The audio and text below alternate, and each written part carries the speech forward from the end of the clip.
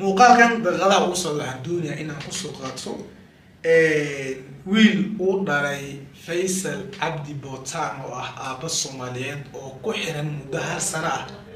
Jeelka laascaanood wiilkiisa ayaa wuxuu soo qoray qoraal dheer qoraalkaas oga hadlayay aabihiis iyo sidoo kale xaaladaha islamarkaana haada ku jiro. Bal halma qoraalkan inta waa inoo soo saaraya anigana waa inii akrinaya kamoon aabbo muddo sanad ah ayuu ku jiraa jeelka laascaanood welina cid ka hadashay oo sii deyntiisa xitaa ka howl gashay ma arag buuri ilaahay aabey ha iga soo furto gacanta cadowga qabiilkiisa aan ka soo qabiilka aan ka soo jeedno waa mid keliya ee lagu yaqaano sharafta isaaq micnaha wiilkiisa ayaa qoraalkan haatan idin akrinayay ee halkan saaran soo qoray.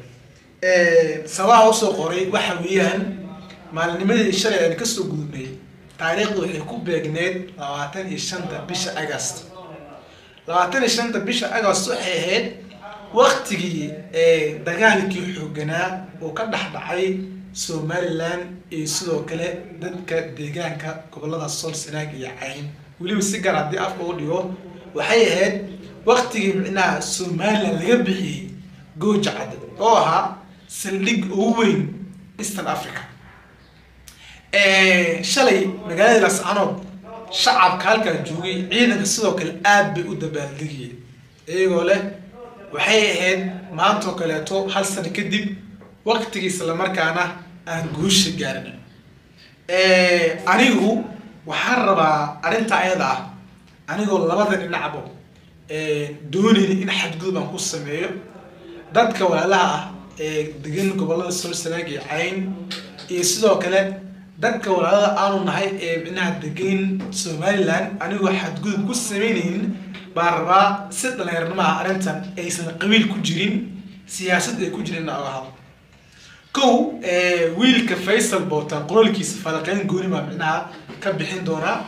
Sidoo kale xarigga aabbaha soomaaliyeedna waxbaan ka oran doonaa laakiin waxaan dooni waxa weeyaan si guud haddii aan ka hadlo dagaalada runtii wax qurux badan maaha marka kuwaad. Tan xigto waxaan ognahay somalilan iyo sidoo kale laascaanood dadka degan dhibaata weyn baa soo dhex martay xag markii loo fiiriyo waa dad walaalo ah wada dhasheen. Waxa isleynayay waa abti iyo wiilkiisa.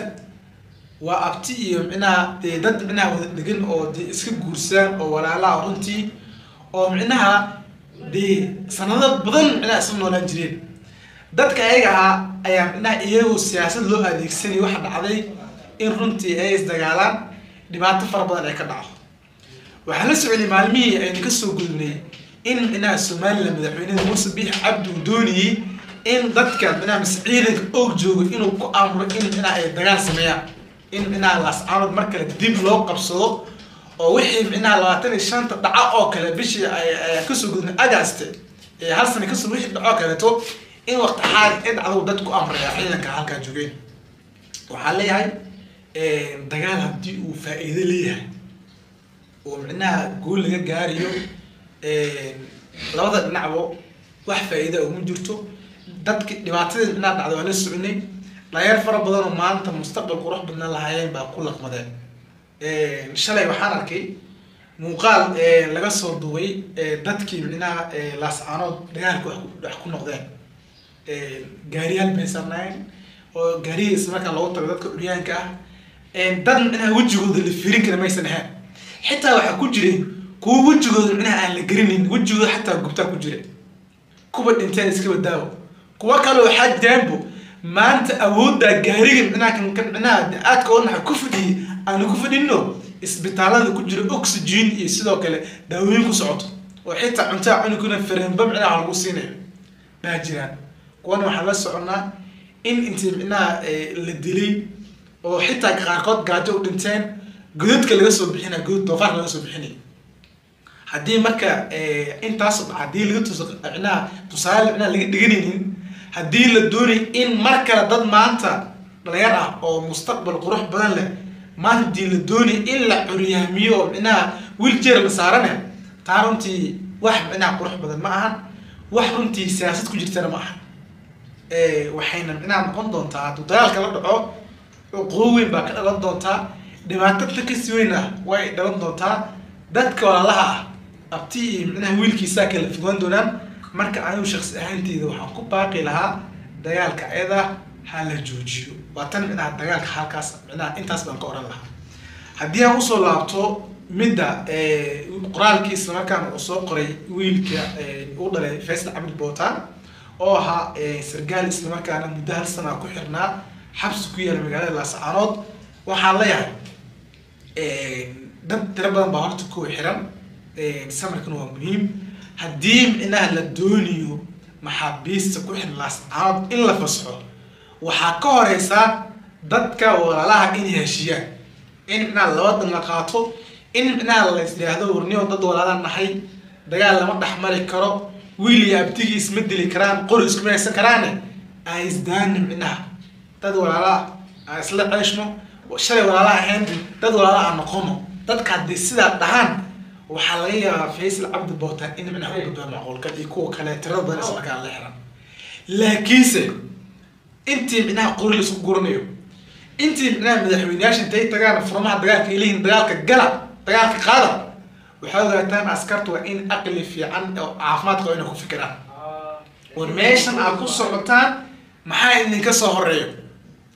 Dagaalkan aad qaadirtaan maxaa idinka soo hore waa inay saa u fikiraan anigu labada dhinac baa la hadlaya waxad gudmaysameyne dagaal inuu dhaco faa-iida kuma jirto.